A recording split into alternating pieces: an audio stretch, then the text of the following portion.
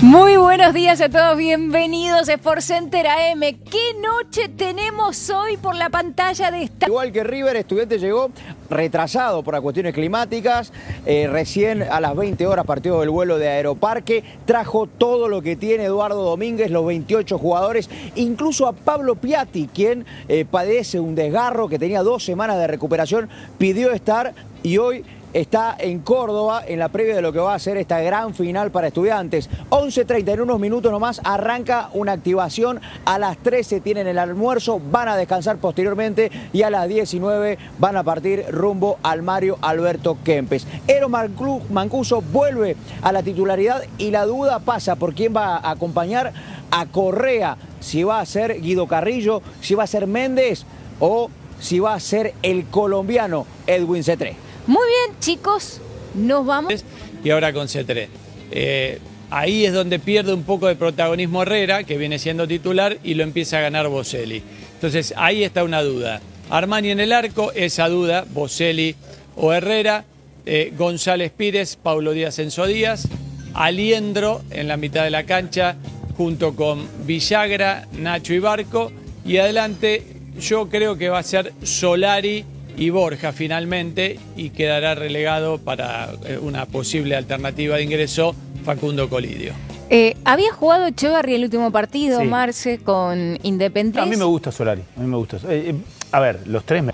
Eh, que jugó de local, si no me, si mal no recuerdo. ¿Por dentro? No, jugó, ¿te acordás que, que con Independiente, de Independiente Y ahí bajó la intensidad del partido, le, bajó un poco el ritmo porque sabía que el partido lo terminaba. Mancuso, los dos centrales con mucha altura, Federico Fernández y Said Romero. Por el sector izquierdo va a jugar Eric Mesa.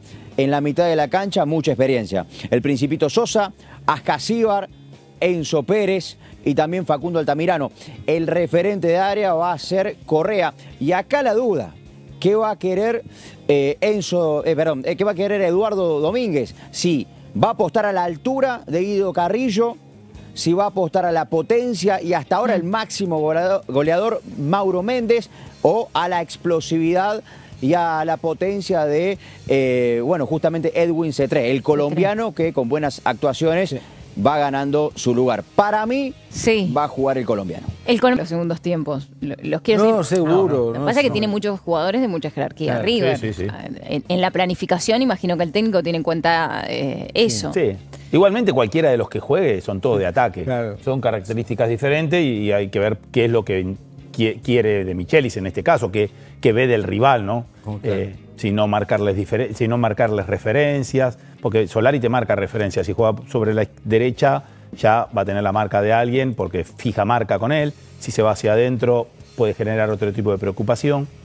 ¿Y cómo hace goles estudiantes? Está bueno repasarlo. Sí. A mí me gusta mucho estudiantes. Eh, ¿Me los querés dar para ir charlándolo entre todos? Sumámelo a López López también. Bueno. Eh, porque claro, River más allá de atacar, Estudiantes. tiene variantes. Interesante, muy interesante. Eh, estar atentos, ¿no? Pero el recurso de patear de media distancia... Hay que tenerlo en cuenta. Hay que tenerlo en cuenta, porque muchas veces dejás, dejás. Porque... Bueno, River eh, lo sufrió con Talleres. Lo sufrió el segundo tiempo con Talleres, le pateó mucho afuera del área. Mucho. Eh, ya voy a volver con Juan, con Javi. Ricardo, veremos quién lo toma ahora. La estadística me dijiste en 10 fechas, 7 técnicos. 7 técnicos, 7 entrenadores. Altísimo. Eh, muchachos, voy a hacer un pecadito distinto. Vamos. ¿Cómo va a ser? Sí, porque la verdad que me tiran datas de sus equipos, lo siento como que no mueven mucho, que están dispersos. Dicen, hoy tenemos otros dos partidos por Star Plus muy importantes. Así que que se preparen, los voy a hacer jugar. A ellos les gusta jugar. A ver, a ver, Pecadito, diferente. En Justo se dio que estaba la Supercopa, la final. Hablé con Leo Poncio, el que siempre hablo, hablamos casi todos los días. Y bueno, me vine con el nene más chico, con mi hijo, y con unos amigos a ver el partido. River obviamente me, me invitó también, así que les agradezco. Y nada, a ver el partido y mañana volver para Buenos Aires. Eh, Andrés, contanos un poco más qué es de tu vida a, nivel laboral. ¿Cómo estás? Bien, estuve en Cruzeiro el año pasado, estuvimos todo el año ahí luchando ahí después de que Crucero subió de, la B, el primer año en la A fue difícil, complicado, pero estuvimos ahí. Estuve trabajando como coordinador de la categoría sub-20, que sería la tercera acá en Argentina. y del, primer equipo.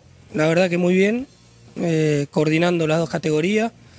En esa relación y en ese nexo entre la dirigencia, el técnico y los jugadores, la verdad que por ser mi primer trabajo, mi primera experiencia, me fui contento, pero bueno, estuve solo, estuve sin la familia, así que hoy se me hace muy difícil estar lejos de la familia después de tantos años de haber jugado, de 22 años yendo para todos lados.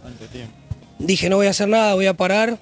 Pasaron ocho meses y ya, viste, salí de nuevo. y bueno, no podemos parar, viste, acostumbrado a, viajar y a hacer cosas. Es difícil estar lejos del fútbol, pero bueno, este año en Porto Alegre, ¿eh? Eh, viviendo ahí y, haciendo algunas cosas, pero cerca de la familia. Eh, Andrés, eh, tu, idea cuál es? ¿Quedarte en, ese rubro? Atención Marcelo Espina, porque Diego Monroy tiene ah, información. Claro, usted vaya recabando todo, porque hoy por Star Plus, además de 300 mil, ¿hasta cuándo tiene contrato en Premia? Lo necesita inmediatamente. Ojalá lo de Weigand, si no va a ser tenido en cuenta por Martínez, se pueda destrabar. Gana Boca, gana el futbolista porque juega y gana Boca porque le ingresa un dinero. Si no, Hay una posibilidad Estando, estando libre dentro de tan poco tiempo, raro. No, No, me lo imagino, porque evidentemente ya hay un conflicto. Diego, eh, justamente Mariano Claus es quien viene a continuación. Así es, con F12. Gracias. Hasta mañana. Chau, chau.